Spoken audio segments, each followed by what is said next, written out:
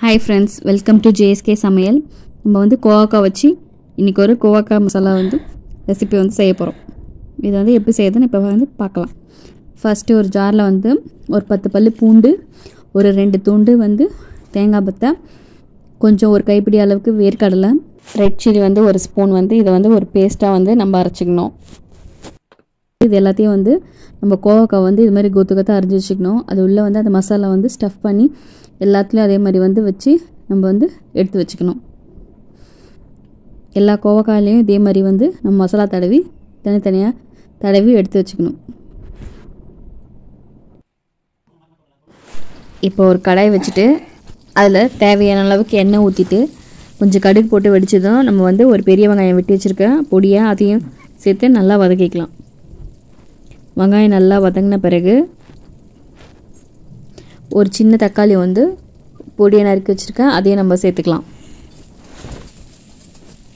வெங்காயம் தக்காளி ரெண்டும் வதங்கின பிறகு நம்ம வந்து ஸ்டஃப் பண்ணி வச்ச மசாலா ஸ்டஃப் பண்ணி வச்ச கோவக்காவை வந்து போட்டு நல்லா கொஞ்ச நேரம் ஒரு மூடி போட்டு ஒரு ஒரு பத்து நிமிஷம் வந்து நல்லா வேக விடலாம்.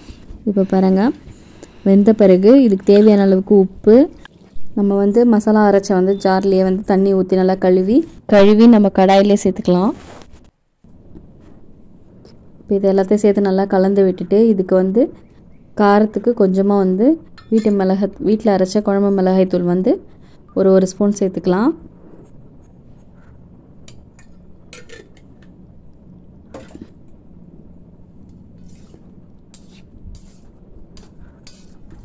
சேர்த்துட்டு இது நல்லா வந்து நல்லா கலந்து விட்டுட்டு நம்ம வந்து ஒரு மூடி போட்டு நல்லா கோவக்காய் வேகட்டோன்னு மூடி போட்டு ஒரு பத்து நிமிஷம் வச்சிடலாம். இப்போ வந்து நம்ம கோவக்காய் வந்து எப்போவுமே வந்து செய்கிற மாதிரி பொரியல் அது மாதிரி தான் நம்ம எப்போவுமே செய்வோம்.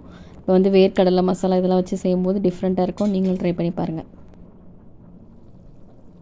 இப்போ பத்து நிமிஷம் கழித்து திறந்து பார்த்தோன்னே இங்கே பாருங்கள் ஓரளவுக்கு நல்லா வந்து கிரேவி ஆகிருக்கு இப்போ வந்து நம்மளுக்கு வந்து கிரேவியாக வேணும்னா கிரேவியாக இருக்கலாம் நம்மளுக்கு வந்து ட்ரையாக வேணும்னா நல்லா வச்சு இன்னும் ஒரு பத்து நிமிஷம் வச்சு நல்லா வந்து ட்ரையாக நம்ம இறக்கிக்கலாம்.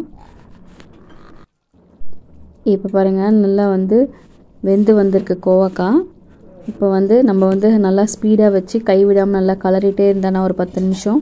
நல்லா சுருண்டு நல்லா கிரேவி கிரேவியாக நல்லா சுருண்டு வந்துடும்